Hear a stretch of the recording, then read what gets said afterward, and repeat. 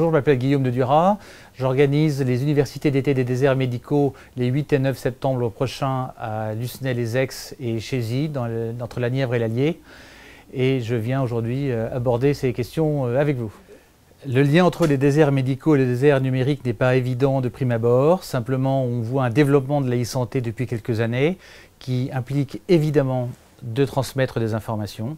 Et en revanche, on a une euh, baisse du réseau en France ou un retard de la France en termes d'accès au réseau qui fait que en fait, le développement de la santé se trouve bloqué dans les territoires ou sur le territoire national par une absence de réseau mobile ou de réseau filaire. Euh, c'est très difficile d'avoir des chiffres en termes de couverture de territoire parce que vous avez des opérateurs qui vous assurent qu'ils sont à peu près à 98% de couverture.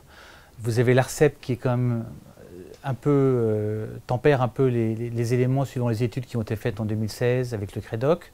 Et puis vous avez les associations de consommateurs qui, eux, prouvent quand même qu'il y a des réseaux qui sont euh, beaucoup en 2G ou en 3G.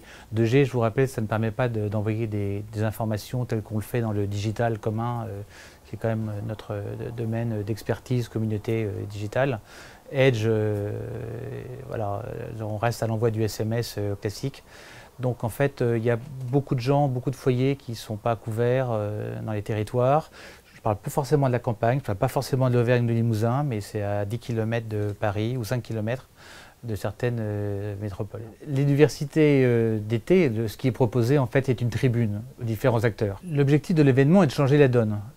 C'est simplement parce que voudrais réunir dans un même endroit des gens qui d'habituellement ne se parlent pas forcément, c'est-à-dire des opérateurs, des, des, professionnels de santé, des établissements publics et privés, des associations de patients, l'ARS, les ARS euh, et d'autres des, décideurs, et de dire voilà, faire un constat, qu'est-ce qui fonctionne, qu'est-ce qui ne fonctionne pas, et qu'est-ce qu'on peut faire chacun de notre côté avec nos compétences pour que ça fonctionne? Euh, à l'issue des universités, l'idée euh, c'est de faire un livre blanc ou d'avoir un certain nombre de propositions, des engagements concrets, soit des opérateurs qui ont expliqué pourquoi est-ce qu'ils ne pouvaient pas développer plus, soit des startups euh, qui arrivent à permettre une interconnectivité, soit euh, euh, d'un certain nombre de personnes qui peuvent apporter des systèmes alternatifs de communication pour qu'on puisse enfin déployer sur le territoire des systèmes qui fassent qu'on puisse avoir des systèmes de santé connectés fiables.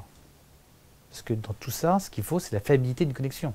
Si vous êtes suivi sur un domaine de santé, il faut être sûr que l'information que donne l'appareil, euh, récupère l'appareil, soit envoyée au, médecin au correspondant, à l'hôpital.